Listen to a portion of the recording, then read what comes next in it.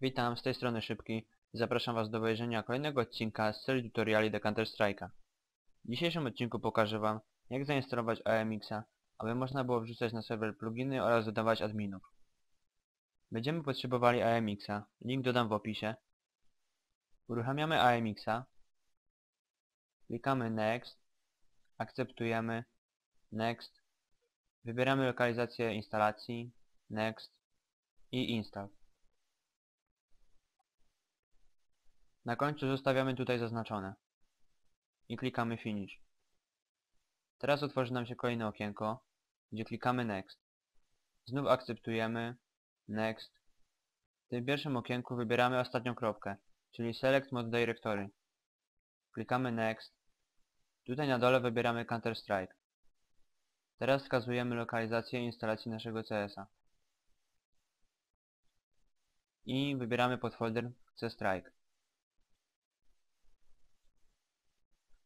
Na końcu klikamy Finish i teraz mamy zainstalowanego AMX-a.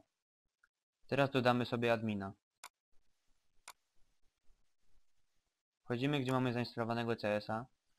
Wybieramy folder C-Strike, Addons, AMX mod X, configs i otwieramy plik users.ini. Można go otworzyć WordPadem lub notatnikiem.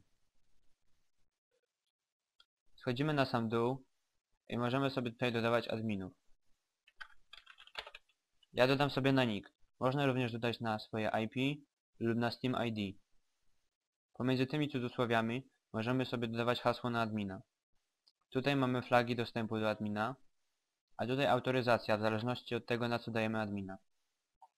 Zapisujemy. Teraz uruchomimy sobie serwer i sprawdzimy czy wszystko działa.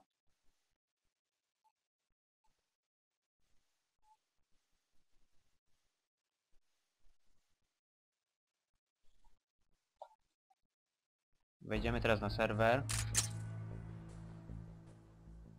Sprawdzimy czy mamy admina i czy działa AMX.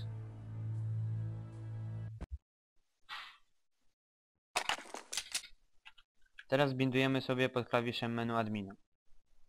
Wchodzimy w konsolę, wpisujemy bind i teraz wybieramy pod jakim klawiszem chcemy mieć menu admina. Ja dam przykładowo V, spacja i wpisujemy AMX mod menu. Zatwierdzamy Enterem. I teraz pod V powinienem mieć menu admina. No i menu admina się wyświetliło. I możemy teraz zarządzać serwerem. Z mojej strony to by było na tyle. Oceniajcie, komentujcie i subskrybujcie. Dziękuję Wam i do zobaczenia w kolejnym odcinku.